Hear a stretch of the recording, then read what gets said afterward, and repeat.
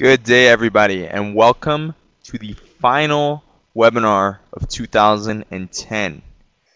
I'd like to proudly present Sensei Nick Dougherty as he compares your martial arts business to the three phases of the game. And by the game, he means football. If you if you know Sensei Nick, you know that Sensei Nick is an avid football fan, and you also should know that football also has some of the best coaching in any sport. So it's going to be an interesting webinar today, and I hope you take great notes. I'm going to pass it over to Sensei Nick. Okay, Tatis, thank you so much. Uh, first of all, I just wanted to give a big round of applause. Tatis has been, you know, uh, with me for every single webinar this year. Tatis, it was great working with you, along with Vahid, the rest of the marketing team at Champions Way. But uh, me and Tatis have been really uh, getting all these presentations ready. So, Tatis, thank you so much for all your help over the past year. Um, I'm really excited about today's webinar. Uh, you know, been talking so much about social media, social media, social media, um, and this is like uh, more of like my passion. Um, so I'm really excited to just give you some examples of uh, how football, you know, how you can relate it to your martial arts school. So I think this will help help uh, put you know everybody, just you know, give them a good perspective on just some really key points I wanted to bring out. All right, and uh, we're gonna go right into it. So three phases of the game a little bit about first about Champions Way and Perfect Mind before we get started. Uh, we always like to tell everybody a little bit about our company. We were founded in 1998 by Master Farid Dordar. We currently serve over 5,000 martial arts schools and yoga studios and small businesses. We employ over 60 people. We have our headquarters in Vancouver, British Columbia. If you ever would like to come for a visit, I highly recommend it. Uh, it was really a life-changing experience for me. I just couldn't believe it when I got there. Um, so it was just an amazing, amazing trip. And now I'm fortunate enough to work with them. And also, um, just it was a great time to see like what those guys do and how hard they're working. That was the one thing that really attracted me to Champions Way was those guys were everybody there, the entire team. They're all giving 100%. So if you ever would like a trip, you know, take a look and contact uh, one of the one of the uh, I would say the marketing director Vahid Shababi about that. We have an office located in New Jersey. If you ever want to come see me, that's where I'm at. Right, so if you want to come out there, uh, for those of you, I know a lot of you have been following us, and uh, you know, help us get to our 2,000th Facebook fan today. If you're not a fan of ours on Facebook, go to facebook.com/slash championswayfans.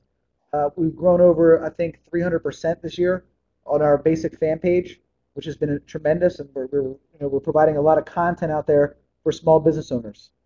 Twitter.com/slash championsway. Tatis is the man behind Twitter. All right, you're doing an amazing job keeping everybody up to date with all the great Champions Way events and Perfect Mind events. Uh, also, our YouTube channel, youtube.com slash championsway inc. We also have our blog, blog.championsway.com, and we have the world's largest martial arts online community at community at championsway.com. So let's go over first the meeting agenda for today. It's really simple, nothing too, not too much. I wanted to end of the year with uh, just a really good, you know, vision for you to understand what you should be concentrating uh, concentrating on for your martial arts school or yoga school or whatever business you're in. Um, but anyway, offense. We're going to be going over your offense. What is your offense? Okay. What is your defense? What is your special teams? Do you see the future? And then I'm going to give you a recommendation. So really simple, and let's just go right into it. Um, first, let's start with the offense. Okay. And you know, I have. To, I'm sorry, you know, for any Giants fans or any other fans besides the Eagles, but for those of you that know me, I'm a die-hard Eagles fan. All right, that is my team. I've loved them since 1980. Okay, when they were in the Super Bowl, and I was growing up in South Philadelphia, and I was listening to them on one of those small televisions with a knob, uh, showing my age a little bit. But yeah, I was. I'm a, a pure Eagles fan, and uh, you know, this is uh, for those you don't know, this is Shady McCoy, a big part of the Philadelphia offense. I don't have to tell anybody who that is, especially Giants fans. All right, um, that is DeSean Jackson, and then we have Jeremy Maclin. So the reason why I have these pictures up here, you know, of these players is simple, is because that is that is the offense. Okay, that is that is the offense. Okay, your players. Hold on one second, guys. I'm sorry. There must have been some type of difficulty. Okay, can everybody hear me okay now? Okay, sorry, sorry about that, guys. All right, sorry. Okay. So the DC, I'm just going to start back where, where it's uh, on the offense. Is that okay? Is that where I lost everybody? Okay. Sorry about that uh, little you know, technology issue. anyway, let's go over. We're talking about offense. So, for those who don't know, this is uh, Shady McCoy. He's the Eagles running back. All right, and then like I said, um, not to rub it in the Giants fans' face, but if you're a Giants fan, you know who this is. Okay, this is the guy who ended your season. No, I'm just kidding. This is the guy who made the most amazing punt return of the decade and you know, led us to victory on Sunday, which was it was uh, an amazing punt return. And then obviously this is Jeremy Maclin, another one of our offensive players. Now the reason why I have them up there for a couple reasons. Uh, your offense, okay, that is those are your playmakers, okay, for your martial arts school. But before we go over the analogy, let's talk about what it takes uh, for an offense in the NFL. Okay, the 10 key things of having, you know, an offense that will ignite the scoreboard. So the first thing is planning. The second thing is catching your opponent off guard. The third thing is having a bench. Right? If you notice, I don't know if anyone really uh, is a big NFL fan, but the Jacksonville Jaguars, okay, there's only I believe 32 players on the team, and 16 of their players are on the injured reserve. So it is, it, injuries are so much a part of it, and it's so important to have a strong bench, right? Because if you have a left tackle, right, or a right tackle or a center that uh, is just levels below your starter, it can be devastating no matter even if you're Tom Brady. Uh, the next thing also would be your scheme. You hear coaches talk about this all the time. You know, our scheme, our scheme. Okay, what's our scheme? Let's stick with the scheme. Okay, so you want to make sure that you know you understand that that is a really big part of it. Adjustments, right? Adjustments that you're making for during an NFL game. All right, do you make adjustments during an NFL game? You know, or do you just wait till the game's over? Uh, you might hear this from the Patriots a lot. Uh, Bill Belichick will never talk about anything except the game that is uh, that is coming up. All right, a legendary coach. He's always talking about one game at a time. Uh, you, you, could ask him when they're nine and zero, oh, Coach, do you think their chances of making the Super Bowl really good? The only thing I'm worried about this week is the Pittsburgh Steelers. All right, you talk to any player on his team, they would say the same exact thing. All right, and we'll come back to that uh, how important that is. Film. Okay, these players, the most successful players, they study film like more than anybody. It's uh, it's amazing. Some of these amazing players, Peyton Manning, Tom Brady. If you look at them, they all have one common denominator. They all study film. Interesting enough, Michael Vick, you know, who was a tremendous athlete, really credits everything this year to the way that he's preparing for games by watching film. The other thing with the offense is that there needs to be a system. If you notice the West Coast offense, which is what the Philadelphia Eagles use, okay, and a lot of other teams in the NFL, they have an offensive system that they use.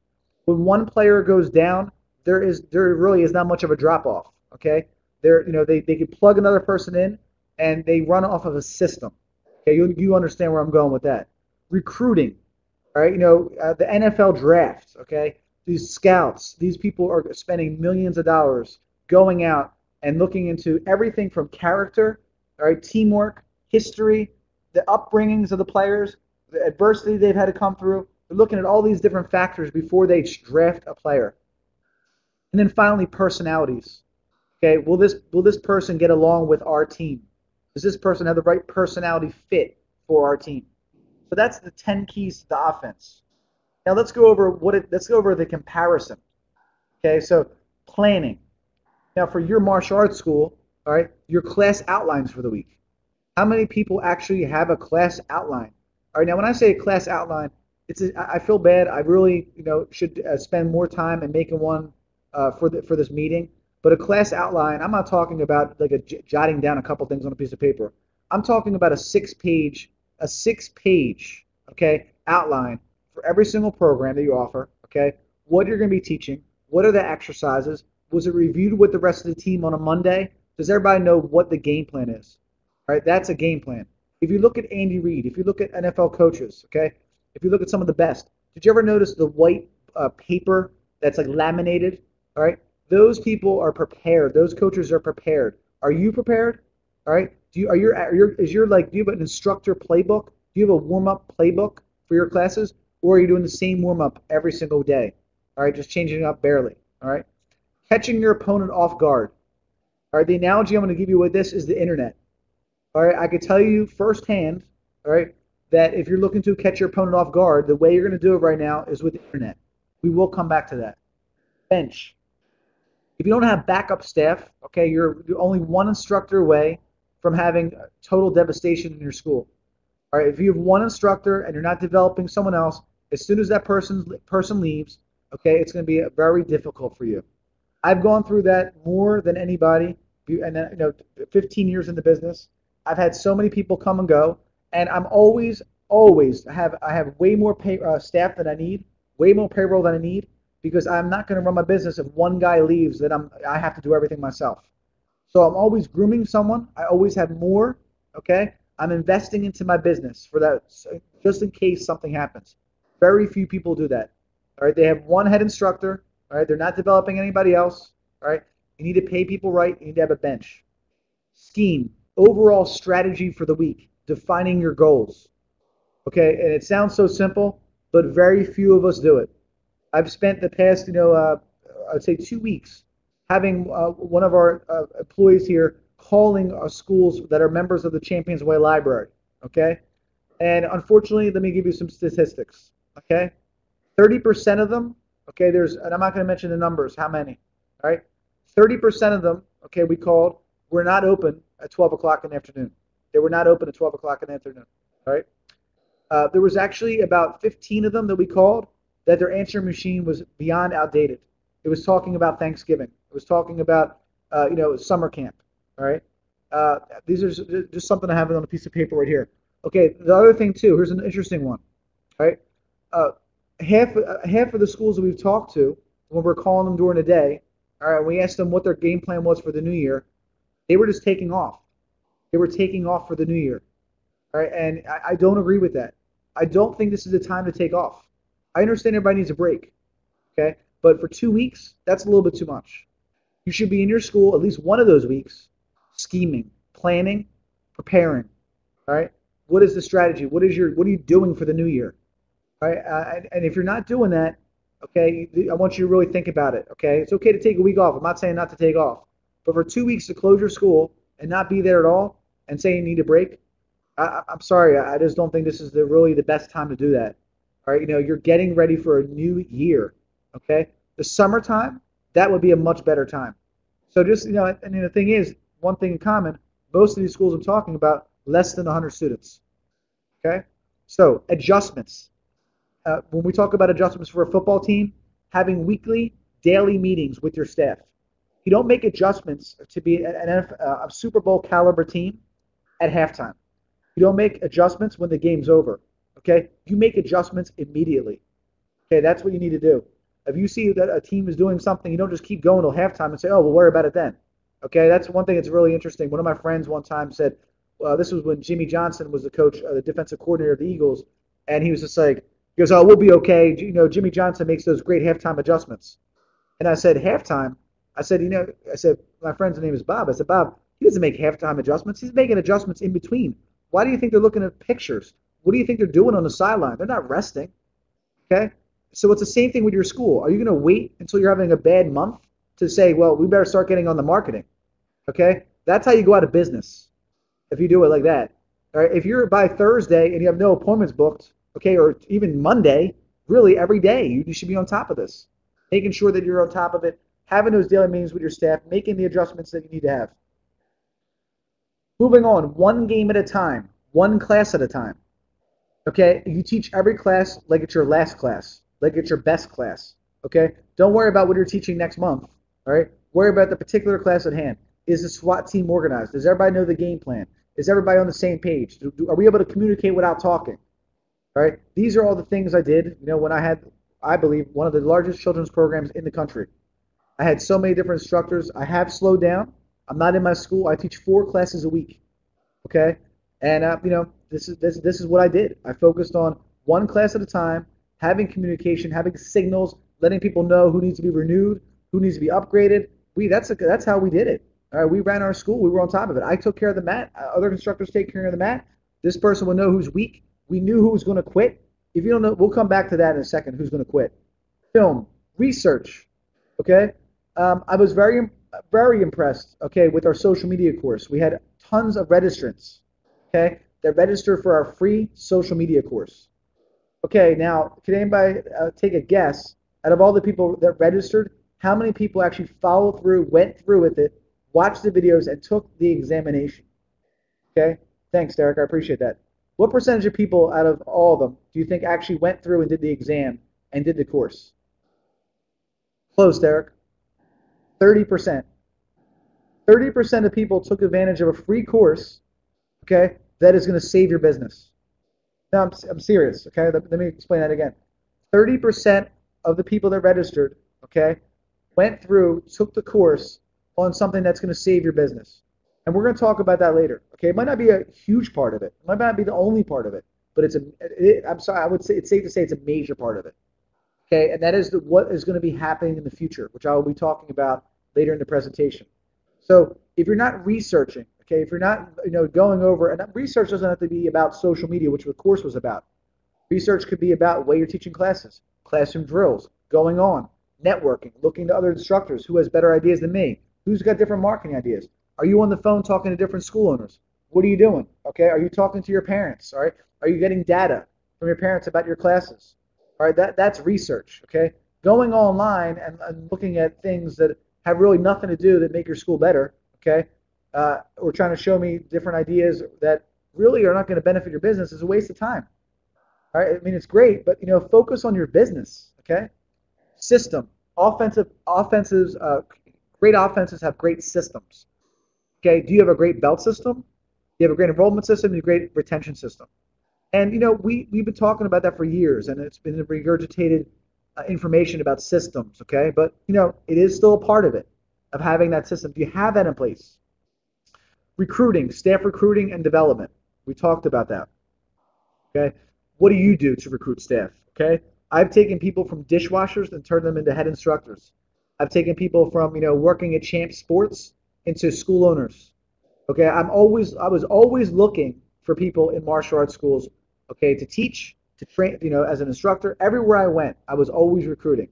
All right, waiters. Okay, if I saw someone with a good personality, why don't you come in and try martial arts? Give them a card. All right. If not, if you're waiting for them to walk through the front door, okay, you might as well close it because it's never gonna. It's, they're not gonna walk through. All right, they're not gonna walk through. So it's got to be part of your, your your offensive game plan, recruiting and development. And then teamwork, okay, personalities. All right, one of the most difficult things to deal with when you have a large team, if you have a five, 600 person school, 200 person school, and you start having a lot of people, all right, people, you know, everybody's raised differently. Okay, everybody comes from a diff- different heritage. Everybody comes from a different place. All right, you know, it's, it's, it takes time to gel. It's the same thing with the NFL. They do a lot of team building exercises. They do a lot of things. They do community outreach programs together. That's the kind of that's why it's it's important to get involved with your community and working with your other your team members. Okay, this these are the keys of having a good offense at your school. Your classes and all the other two things I talked about. All these small things. Moving on, defense. So, can anybody tell me who that is? Anybody could tell me who that is right there. I'll give you five seconds. One, two, three, four. Thank you, Chris. That's right. Darrelle Revis is a shutdown corner. Okay? Maybe he's been injured this year, but this guy, they call him Revis Island. Okay? Because when people actually go out there and try to play him, they're like on an island. There's no getting off. You can't get off of him. All right? You're stuck. All right? He's going to blanket you, and you're done. He is a shutdown corner. Now, I want to talk about, you'll see where I'm going with this in a second.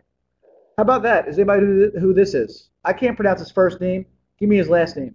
Five seconds. He's a rookie. There you go, Chris. All right. It's actually S U H. Okay, Suh. There you go. All right. This guy is an offen- I'm sorry, a defensive tackle. Okay. He's a defensive tackle. Now, what's important with a defensive tackle is that's where the trenches are. Okay. The battles on NFL games are won in the trenches. It's the same thing with your martial arts school. Okay. The battle is won in the trenches, getting in, getting dirty. Okay. Not just waiting for people to come through your door, getting on the phone, go ha- having your goals, all right, being in the trenches, not working from your cell phone. Uh, and if anybody takes offense to this, I'm sorry, okay, but working from your house, okay, you know, getting your cell phone, uh, you know, that's it's not the way to do it. You need to be in your school, okay. It will not be the same. Your school needs to be open. Right, people are driving by looking through a window, okay. That's not good. All right, so it's done in the trenches.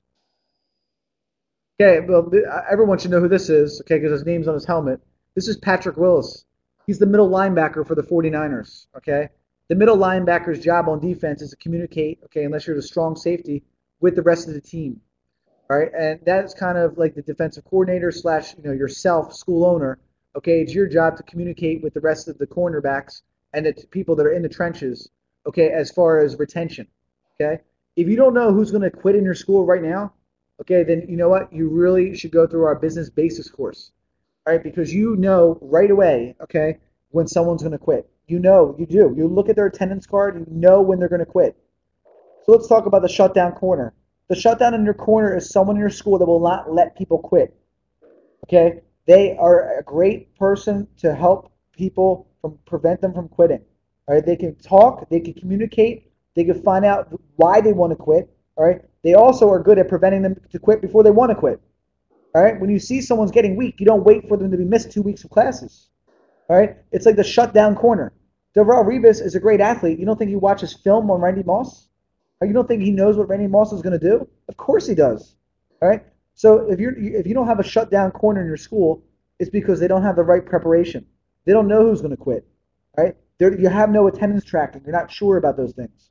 the leader in the middle of the defense is communicating with the rest of the team. That's your job. Okay? Communicating with the rest of the team. Letting them know, putting them in the position where they need to be. We need a makeup class. We need to do something for the brown belt group. We need to do something for this. It's it's 24/7 on this stuff. The battles are won in your trenches. We talked about that. Making your absent calls, okay, and check-in calls, and knowing your status, okay, doing your lead calls. All right, that's part of it too. I mean, you know, I know it's hard, but it's, it's painful, but you got to be consistent with it. You can't do it one day, all right, and then stop doing it. You know, networking with other people in your community, all right. I'm not even at my school, and I have a woman emailing me 35 times a day, and all she wants to do is get me students. And I'm just uh, great, sounds good, awesome. I get back to her instantly on my on my iPhone, on my email. I'm constantly communicating with her. All right, hooked her up with some deals. She's happy, some sweatshirts, and she is bringing people in my door. Okay, and I'm doing that from a distance. Game plan from the coordinator. Okay, uh, the game, the defensive, you know, uh, coordinator. Okay, you. All right, you're the one that has to come up with the game plan. All right, they're the players. Okay, that's the mistake. Okay, players play for you because you're the coach. All right, instructors work for you because you're the instructor and you're the owner. It's okay to give them responsibility, but the game plan is down to you. When it's a failure, it's your failure. It's not theirs. Unless you give them everything, a detailed task list, they have the game plan, they know what to do. That's how that's how they'll be successful. Communication, front desk, instructors, program director, and perfect mind. Okay, having the software, having something that is actually you know tracking everything you're doing. Not allowing any points, no cancellations. Okay, these are the comparisons. Okay, uh, the shutdown corner, not allowing any points means no cancellations, not letting people quit. Okay, finding out what it is. I mean, yeah, of course you're gonna have people quit. I'm not saying you know whatever, but you gotta. I mean, you're never gonna grow if you don't take care of that. No stupid mistakes. Be accountable. Know the status of every student. Know the status of every single student. If you know the status of every single student and you don't make dumb mistakes like being 15 minutes late for a class, being uh, all different types of things like that, all right, being accountable, holding your instructors accountable, all right. The longer you let someone do something wrong, okay, the worse you're making it. it you know how hard it is for me to come in here and talk to one of my instructors that gives 100% every single day, and then he, you know, has one little mishap. All right, I still have to sit down with him and explain to him that as long as he learns from it, I'm okay with it. As long as he can admit his mistakes, I'm okay with it. All right, but I'm not going to let it go. I've let it go in the past, and when you let it go, it's the worst thing you could do. You'll never, they'll never grow. Okay, they'll never grow, and your business won't grow. If they're not growing, how's your business going to grow? If you want to see growth, you need to look at a person. Right, when you look at a business, look at you know look at the people that are in it. If they're growing, the business is growing. Film. Who's going to quit? You already know. It's the same thing. Like you, like NFL players watch the film. You need to watch your students. Okay, you know who's going to quit. You already know who's going to quit. Prevent them from quitting. Adjustments in the NFL. Okay, the similarity is getting feedback and improving. All right, when someone's talking about your class being too hard, something like that. Okay, you need to get the information and you need to make the adjustments immediately. Stats. Are you growing or shrinking? Without stats, you have no idea. If you don't know your numbers, okay, then you're doing a disservice to your students as well. You need to know your students. You need to know if you're growing every single month. Do you know what your goals are? I mean, all these basic things in Perfect Mind really help you out. Let's talk about my favorite special teams. Can anybody tell me who these two players are besides the I'm sorry, besides DeSean Jackson? Who's number 23? Thank you, Chris. All right.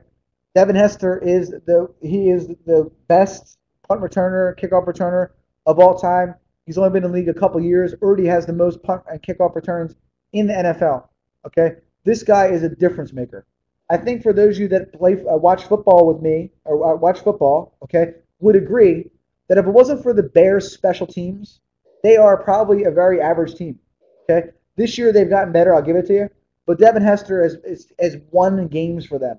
Okay, when you know Kyle Orton and other players were doing nothing, this guy single-handedly would win games from amazing special teams play. Okay, uh, another special teams person right here, David Akers. Right, uh, the the thing that a lot the thing that happens a lot with the NFL. All right, if you hear the coaches, I watch NFL Network every day. All right, and when they're in the locker room afterwards, the coaches all say the same things when they win. Guys, we won because all three phases of the game were united. All three phases of the game, we won the battle. Okay? We won all the battles in all three phases of the game. Now, granted, sometimes you have an offense like Peyton Manning and your defense isn't that great and you win a game. Okay? But obviously, with balance, okay, you're going to win a lot of games. With balance, you're going to have a successful business. Okay? So, what does it take for special teams? Being ready for the trick play giving special teams as much attention as the offense and defense, putting players in the right position, dealing with pressure, and taking risks. That is how you are successful when it comes to special teams. Let's relate that, uh, relate that to the martial arts business. Being ready for the trick play, assume your competition is working as hard as you. I'll talk about this in a little bit. I've already talked about and explained to people what will be happening in the industry. Okay? And some people hear me, and some people don't. Some people uh, maybe haven't, haven't heard it yet, but I will come back to this, okay? But assuming your competition is working just as hard as you, and be ready for what they're coming out with. Giving special teams as much attention as the offense and defense, just showing up to teach and keep your students is only two thirds of the game. If you're just showing up and teaching and teaching great classes, that's great, okay? That's only two thirds. There's still another phase of the game. Putting your players in the right position putting your marketing in the right position. Right? Your marketing is the key. Right? And a lot of people still just don't see what's going on. I'm sorry. Hopefully you're not one of them. Okay, but I will be talking about it in a minute. And it's it's some people just don't get it. And um, excuse me, a little under the weather today. We're gonna get back to that as well. Dealing with pressure. If you want to win, uh, if you want to win, get used to it. Okay, all right. Um, you know, pressure is something that you have to be able to deal with. It happens a lot.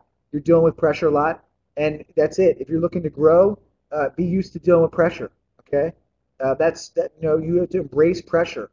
You have to look at it as a challenge. You have to look at it as something going on in your life that you're going to get through. Okay, and you're going to deal with. All right. There's a lot of people that what they do is it's the opposite. I've seen this. Okay, it's a shame. It really is a shame. There are school owners that do nothing other then blame everybody else for why their school is successful. Now I understand about the economy, right?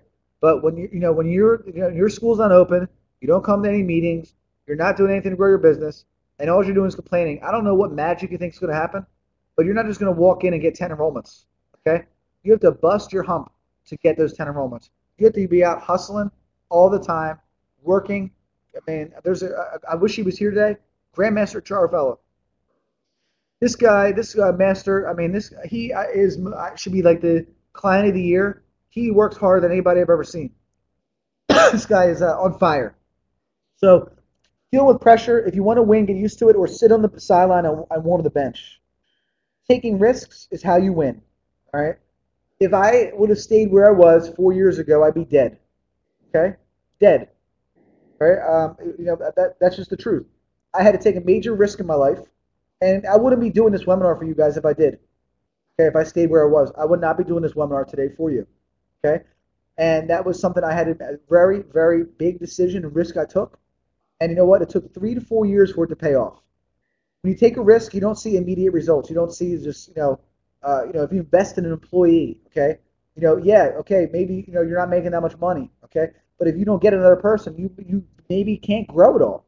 So you have to take the hit. That is a risk. Okay? If you've done your homework and this is the right fit and this person needs to survive and you're doing okay and you can make money from doing some private lessons to offset that, then that's what you need to do. Okay. So, can anybody tell me who this is? He's an NFL coach, and can anybody tell me who it is? Chris? Former NFL coach. Very good, Dave. That's right. Marty Schottenheimer. Okay? And you for those of you that listen to the NFL, it's called Marty Ball. Okay? Uh, coach Schottenheimer was one of the best NFL coaches. Dave, how many Super Bowl wins does he have? Or Chris, how many Super Bowl wins? Does, two or four? Debbie, four? Okay. The answer is none. He has no Super Bowl wins. Okay. Marty Ball, okay, is running the football, running the football, running the football. Okay. This coach has, I think, three or four titles, NFC or AFC titles, and he has no Super Bowls. Okay. And the reason why is because of Marty Ball, because he did not adjust his game plan. This guy told you what he was going to do, all right? And he went out and tried to do it, and he never won the big game. He won a lot of games, but he never won the Super Bowl, okay? And uh, they just did a special on him on the NFL Network a couple days ago. Great coach, but lost, never could win the big game. Because even when he got to the big game, he didn't change his game plan. All right, there was you know his scheme, you know, just didn't win. All right, and you know he tried, and he never, never, I never even made it to a Super Bowl. He won the, the AFC uh, uh, titles, Never made it to the Super Bowl. All right, because of Marty Ball. All right, interesting. Can anybody tell me who this is? Five seconds. One, two, three, four. Close, Dave. This is Sean McDermott. Okay?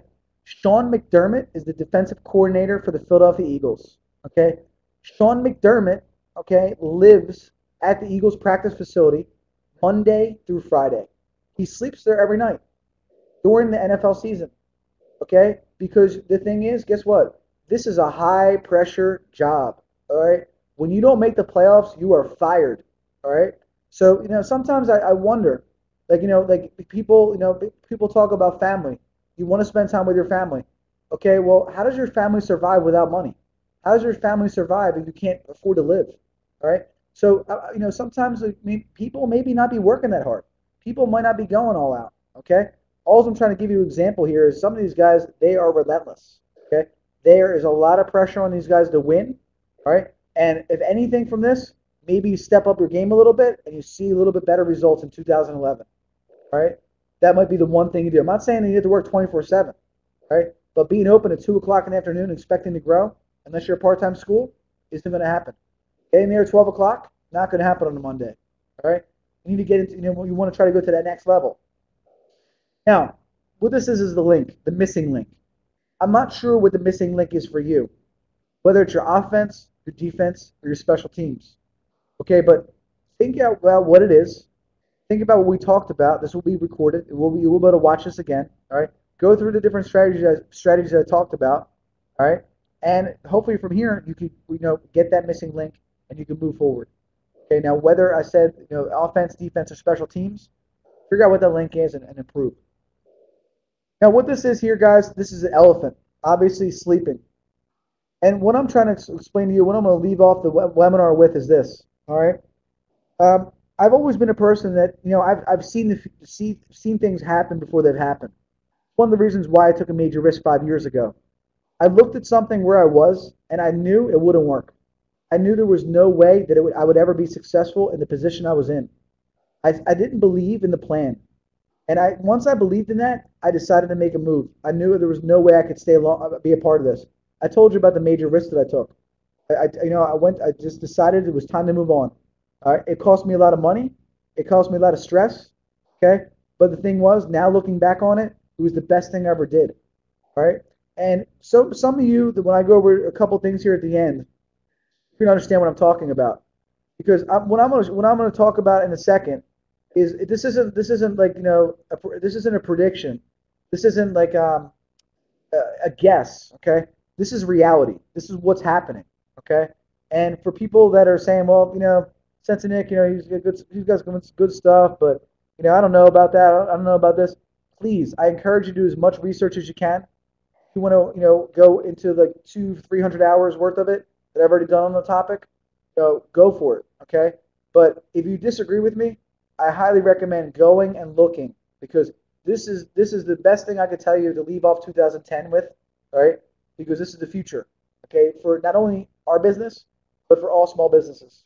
All right, there's marketing has changed. You've already heard me talk about this, and I want to talk about what's going on.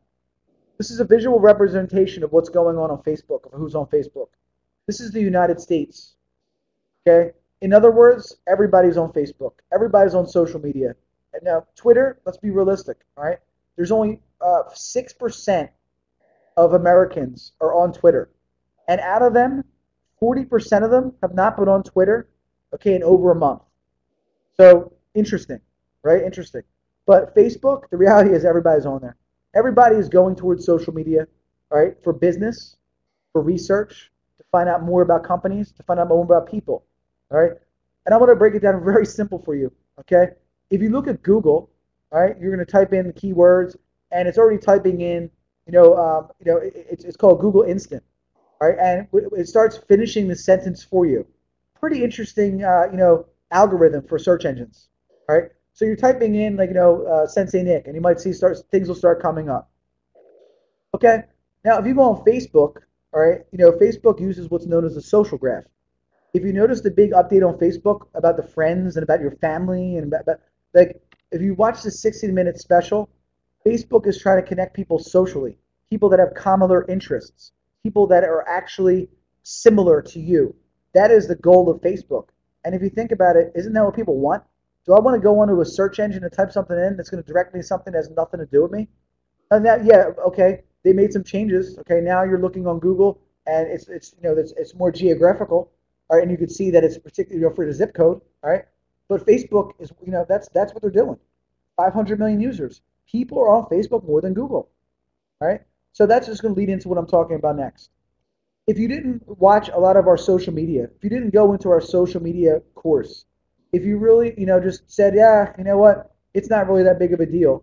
I'm telling you now, okay, that this year, now you're going to see everybody else talking about it. We're already beyond that. We already have systems in place in our Champions Way library to show you everything you need to know about social media in our, our social media course that you can go through with exams, and I will show you this once this is over. Okay? But guess what? That's all good, okay? But we've already wasted, or not wasted, we've already spent all of 2010 building our social reach. So if you haven't done that, that means you're now behind. Okay, phase two of the evolution is social commerce. Okay, and that is important to understand that now if you're building your social reach now, great. Okay, but if you still are denying it, okay, then you need to pay close attention. 2010, you were building your social reach, meaning that you're getting everybody online to follow you, to build people, to get people to follow you, to have people that we're interested in you to interact, to engage, YouTube, Facebook, Twitter, social site, all these different things. Okay. Now, if you were doing that and you have five, six hundred um, fans at least, okay, and you you understand what you're doing, you're putting out the right content. Okay. Now we're going towards social commerce. Means that from now we could drive people from our social networks to our website that is set up to sell the punch passes, the kickboxing specials, the introductory specials. Okay. Now, if you haven't done that and you have no social reach, then you better get into our course. It's a free course. Get on there, learn about how to do everything. Because here's my question. Even if you have a website with all that, okay, how are they getting there? How are they getting to your website? Okay, they'll go to Google. There, there you go. They'll type it. We have number one SEO. Great for you. Okay, but here's the problem. All right, now they go to your website they've never seen you before, and all they see is sign up for this, pay for that, buy that, buy this. Okay, the, approach, okay, the scientific approach is using social media, okay, to tie to social commerce. If your social media is strong and you have good content consistently that people can go back and research, and then you drive them to your website, that's how you close them. That's how people buy. That's how people will become clients of yours. Okay, so that this is this is not you know like I said uh, an option anymore. Okay, you will see, and a lot of our clients have already said to us, Sensei Nick, I know someone's doing this now. I know someone's doing that now. Yep, they are. Okay, and you know, I'm sure more people are going to come out with it. They are. They're going to have all different types of things.